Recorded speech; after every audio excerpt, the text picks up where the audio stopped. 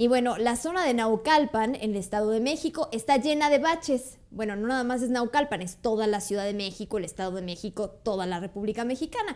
Y bueno, parece que las autoridades no atienden este problema que afecta a los que diariamente circulan por ahí. Fernando Vargas nos preparó la siguiente crónica. Ante las múltiples denuncias que se han dado en el municipio de Naucalpan, en el Estado de México, sobre los baches que existen en las avenidas principales y calles secundarias, las cámaras de Green TV decidimos organizar un bache tour y ver de manera más cercana lo que viven los que transitan por las calles de la demarcación. Ya nada más el tamaño de bache que ahorita vamos a atrevernos a pasar. ¡Ah! Como si me hubiera dolido a mí, ¿verdad?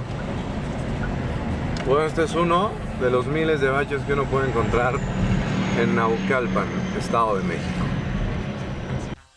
Incluso se ha creado un movimiento llamado Antibache Naucalpense Organizado que han contabilizado 11.400 hoyos en las calles del municipio. Tuvimos oportunidad de platicar con dos taxistas que nos comentan sobre su pista de obstáculos que tienen que sortear sobre las calles del municipio los baches y todo eso eh, nos afectan, pues como no tienes una idea, ¿no? Ya sea en, el coche, va, principalmente es, eso, que son llantas, suspensión, amortiguadores y todo lo que, lo que, a lo que se refiere. Ah, bueno, pues en primera yo creo que las autoridades no se han dado cuenta que hay baches aquí en Abucalpan porque de cierta manera pues no circulan por aquí, ¿no? Eh, a mí me ha afectado mucho eh, las situaciones de que en este tiempo de lluvias que estuvo lloviendo frecuentemente se me volaron dos llantas, dos llantas en diferentes baches. Uno ahí bajando de la Cruz Roja y por la avenida Estacas y el otro aquí bajando del puente de que va hacia, hacia Toluca, que es este Gustavo Vaz. Transitar en automóvil en la zona de Naucalpan es ver un bache como parte del ambiente de la zona.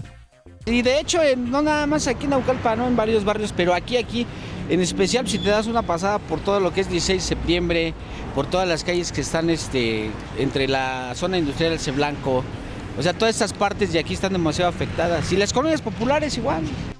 No, definitivamente no. No, no hay ningún este. ninguna. ninguna. ¿cómo se le llama? El, el gobierno no hace nada, ¿no? Aquí entre nosotros tratamos de ayudarnos en tapar los baches, ya sea con con tabique, con lo que se nos ofrezca, con lo que nosotros podamos y tratar un poquito de aligerar el problema, pero sí, está bastante difícil. Las zonas más afectadas en el municipio son las calles que rodean a la terminal de autobuses Cuatro Caminos y la zona industrial en la avenida Primero de Mayo. Reportó Fernando Vargas.